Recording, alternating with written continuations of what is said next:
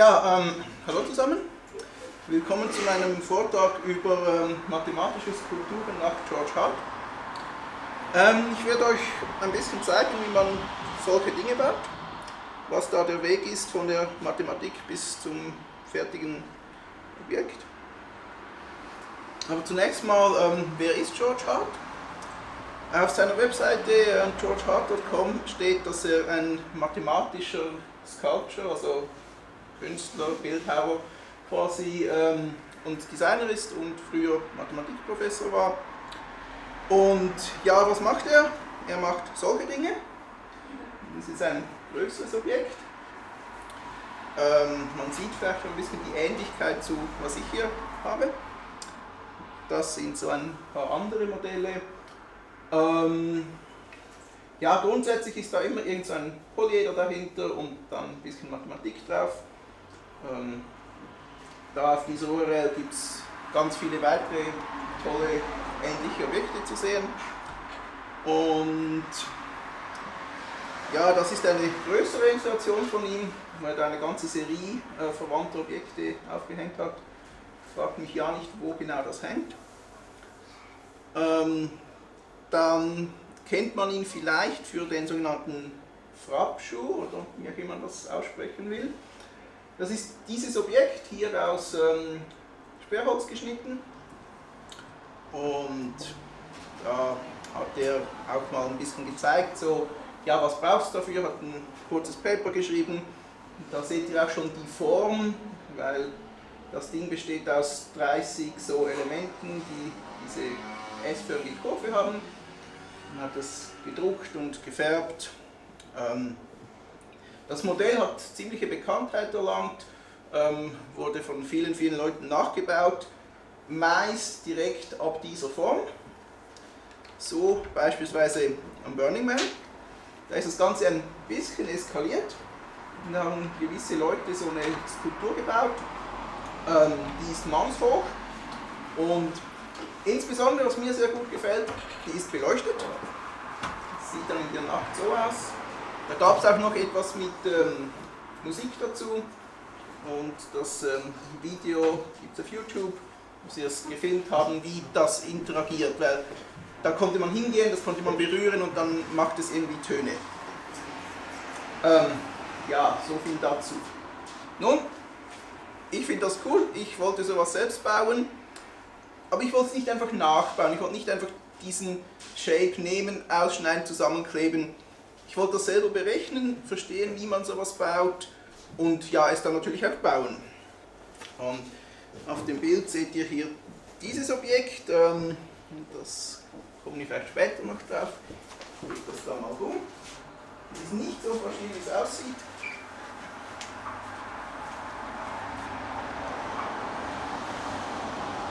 Ja, gut. Was wäre dann nun das Vorgehen? Naja, zunächst braucht man ein Polyeder. Und da gibt es eine riesen Auswahl von verschiedenen Polyedern.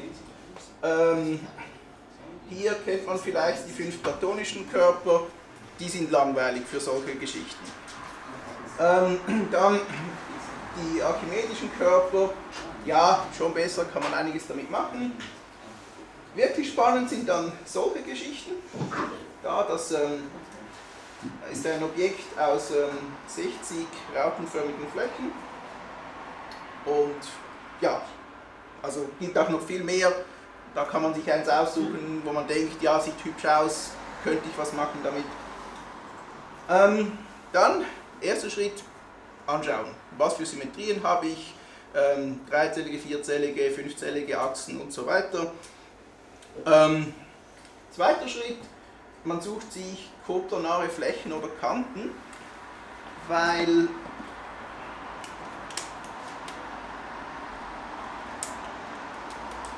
die Teile, die man schlussendlich aus dem Lasercutter oder aus welcher Maschine auch immer rauskriegt, sind meist planar.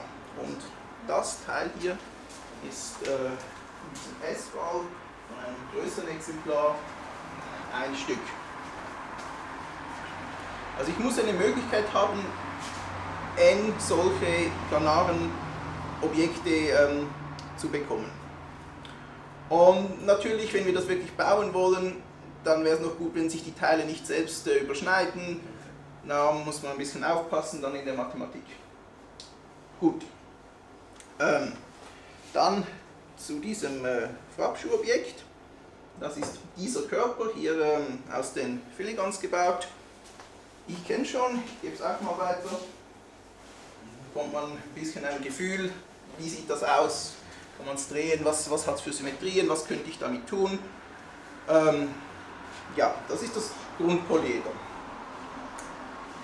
Ähm, dann, wie gesagt, man sucht sich koplanare Flächen in diesem Fall und ich ähm, hier das Objekt habe, dann habe ich jeweils paarweise hier die roten, die blauen, ja. Ah, sorry, ähm, koplanar ist der mathematische Ausdruck für ähm, zwei Flächen liegen in derselben Ebene oder alle Punkte liegen in derselben Ebene, wenn ich von koplanaren Punkten spreche. Das, ähm, beispielsweise, wenn ich ein Viereck habe im Raum und alle vier Punkte liegen in einer Ebene, ist das Viereck planar und die Punkte koplanar. Ähm, ja, und hier der, der wichtige Punkt, warum ich das will, ist, weil ich schlussendlich die beiden Flächen mit einem planaren Acrylglasteil verbinden werde. Darum suche ich mir koplanare Flächen. Gut, dann haben wir die, die roten, die blauen und so weiter. Es gibt äh, 30 solche Paare. Ähm, ich denke, es sind 30. Und ja, man sucht sich die. Jetzt zu diesem Körper muss man dann ein bisschen Mathematik treiben. Ähm, der hat relativ schöne Eigenschaften. Er besteht aus 20 so verzerrten Würfeln, die ich wie, ja, wie eine Art Igel zusammenstecke. Ähm, das sind so diese Stücke.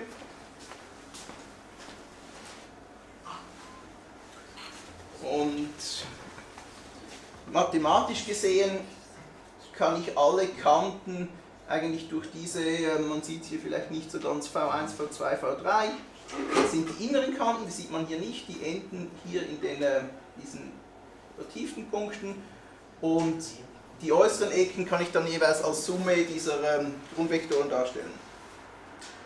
Ähm, ja, dann, warum ist das wichtig? Wie gesagt, ich habe diese koplanaren Flächenpaare und schlussendlich brauche ich so eine Art, muss ich das Ganze ins 2D kriegen, damit ich dann in dieser Skizze das Teil einzeichnen kann, das ich äh, schneiden möchte. Hier sieht man zwei dieser ähm, Rhomboeder, dieser verzerrten Würfel, jeweils auch wieder blau mit den koplanaren Flächen. Habe ich das so ein bisschen gedreht. Ähm, dann hat man hier diese Rauten mit ähm, 1 zu goldenem Schnitt ähm, Diagonalenverhältnis. Und was mir noch fehlt, ist der Abstand von diesem Punkt zu diesem Punkt, oder hier diese Länge. Ja, wenn einem etwas fehlt, macht man ein bisschen Mathe. Ähm, so sieht das aus, wenn ich ein bisschen Mathe mache. Ähm, schlussendlich suche ich hier das x und ich habe das x danach gefunden. Wir sehen, ähm, also 2 mal x ist genau diese Querlänge hier. Ja, hübsch, schöner Körper. Ähm, gut, dann, wenn ich dieses Teil habe, kann ich beginnen, mir Gedanken zu machen, ja, was, was nehme ich jetzt da für eine Form rein? Ähm, das Original wäre so, das würde so da drin liegen. Und wie gesagt, das Original will ich nicht, das ist langweilig.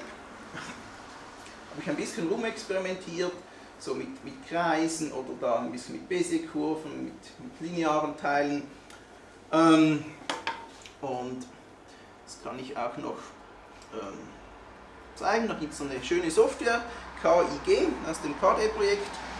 Und das ist so eine, eine interaktive ähm, Software. Wo ist der grüne Punkt? Hier ist der grüne Punkt. Und dann kann ich all diese mathematischen Eigenschaften, da diese Raute im Hintergrund und hier dieser Punkt und dieser Punkt und dann das symmetrische Teil, kann ich definieren und dann in Abhängigkeit davon sagen, ja, ich habe diesen Kreis durch diesen Punkt und diese Gerade parallel dazu. Und das Teil hier ist definiert, das sind zwei Bézier-Kurven. Dann hatte ich so ein bisschen die Idee, ja, mach doch was mit Bézier-Kurven. Ähm, das eine ist eine quadratische Bézier-Kurve, das andere ist eine kubische. Sieht schlussendlich toll aus und ist mathematisch hübsch definiert, also nehmen wir. Ähm, das wäre dann das blaue Teil. Ähm, das rote Teil, ähnliches Verfahren, habe ich auch ein bisschen konstruiert. Was könnte hübsch aussehen?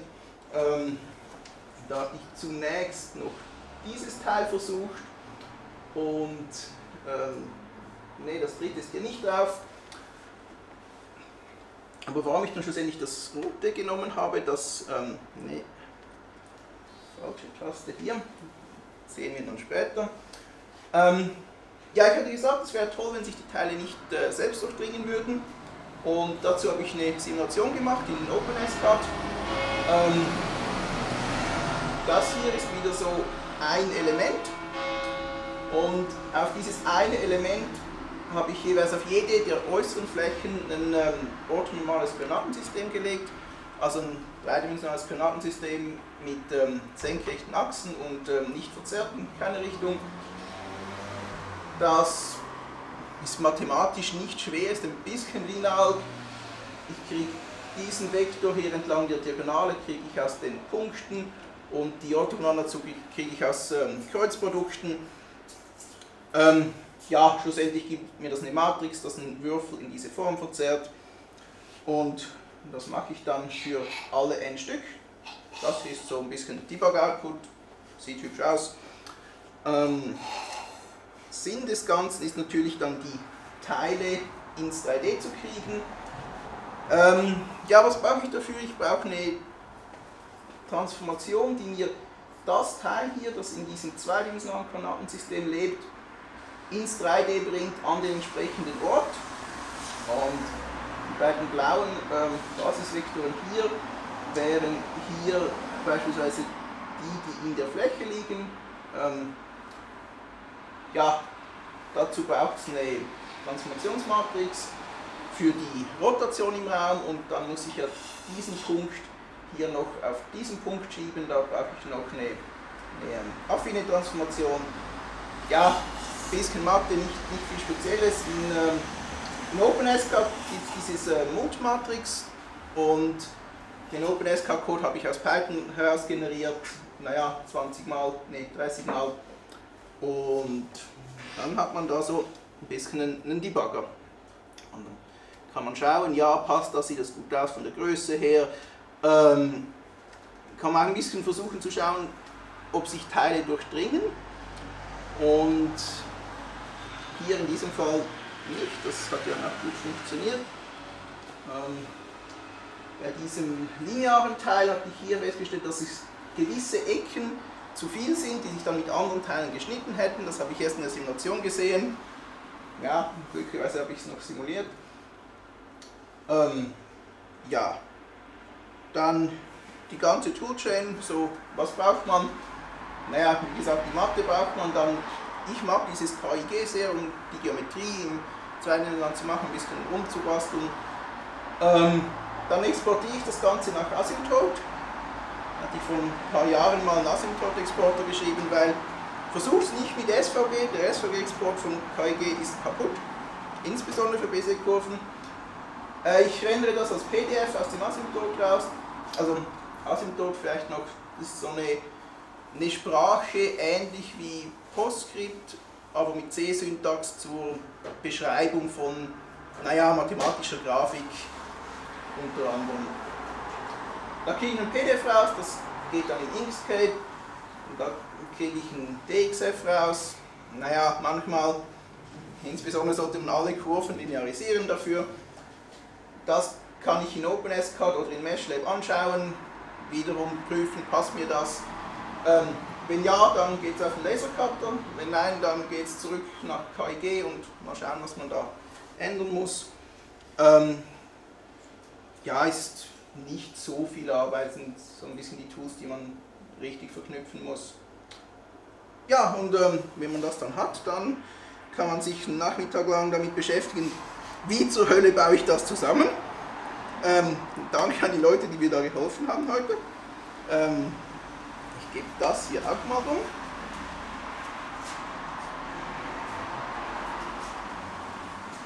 Ähm, das Blaue hat ähm, bis jetzt noch nicht so ganz geklappt. Das sieht noch ein bisschen ähm, falsch aus. äh, bevor wir da ein paar Stunden dran saßen.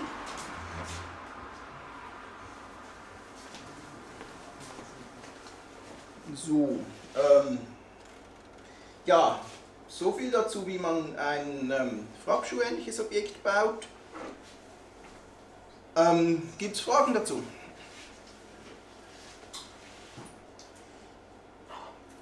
Nein? Gut.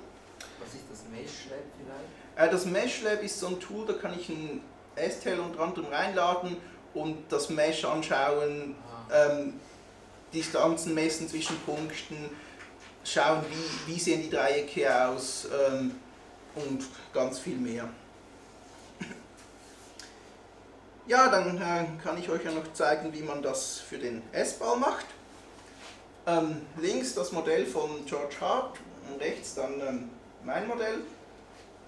Das Grundpolyeder diesmal ist das ähm, Icos-Räder ohne Ecken oder auch ein klassischer Fußball. Ähm, den habe ich auch ähm, aus Filigons gebaut.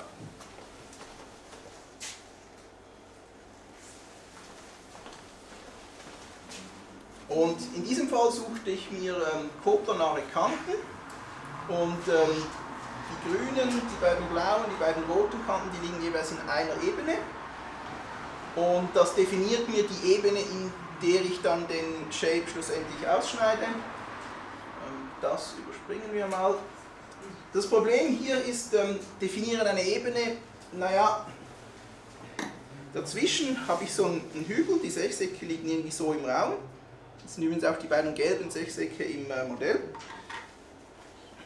Und naja, muss ich auch wieder in diese Ebene bringen, ein bisschen Mathe.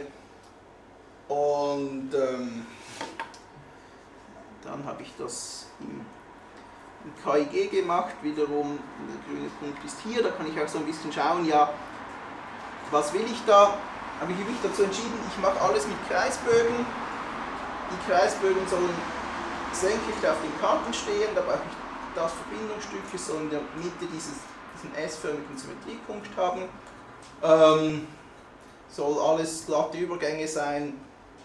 Ja, habe ich mir das so ein bisschen zurechtgeklickt. Auch hier wieder, diese S-Form kommt daher, dass sich die Teile ähm, im Raum ausweichen müssen. Beim äh, Vorabschuh ist das relativ relevant. Hier war ich mir nicht so sicher, wie relevant das ist. Und ich habe dann auch gesagt, dass ich mein Teil so baue, dass es innerhalb dieser beiden projizierten Sechsecke liegt. Damals hatte ich noch keinen Simulator und das war so ein bisschen, ja, vermutlich wird es funktionieren, wenn ich da in die Sechsecke packe. Ähm, ja, das ähm, wäre dann auch dieses Teil.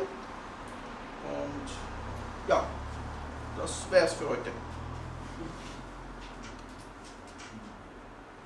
Ja.